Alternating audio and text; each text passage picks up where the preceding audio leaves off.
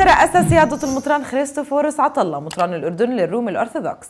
خدمة القداس الإلهي في كنيسة دخول السيد إلى الهيكل الصوفي حيث استهل سيادته عظته الروحية بالإشارة إلى أن جوهر الأحد يتجلى معناه الحقيقي في الحدث العظيم الذي يحصل في كل قداس إلهي.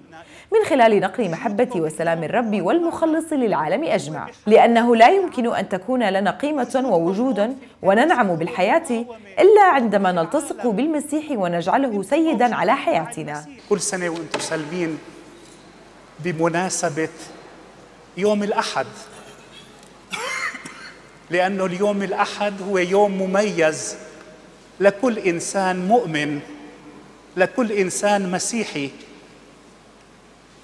لأنه يوم الأحد في نكهة القيامة في نور الحياة في طعم الملكوت والحياة الأبدية. بالنسبة لنا يوم الأحد مش ما هو زي باقي أيام الأسبوع ولكن يوم الأحد هو يوم القيامة. أبنائي مش لازم يوم الأحد يفقد قدسيته عنا. يوم الأحد هو اللي بعطينا في قلبنا تعزية رجاء. هو اللي بيخلينا بحضورنا. انتبهوا مش يوم الأحد لأنه يوم الأحد. لا يوم الأحد بيكتسب جوهره بيكتسب روحه لما منيجي على القداس الإلهي ومنحضر القداس الإلهي. وفي نهاية الخدمة عين سيادته كلا من قصي فاخوري وماجد مخامرة مرتلين في الكنيسة. متمنيا لهما خدمة مباركة ومثمرة. وشارك في الخدمة عدد من الآباء الكهنة والشمامسة بحضور جمع من المؤمنين. وأنا كأسقف في الكنيسة لازم يستلم الخورس أشخاص اللي بعينهم الأسقف.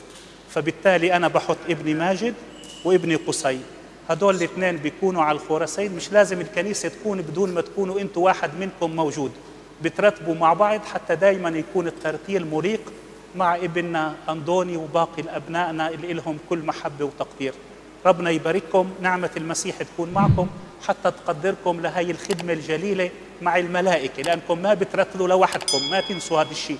ما تفكروا أنتوا والكتاب موجودين غاد. أنتوا والملائكة موجودين.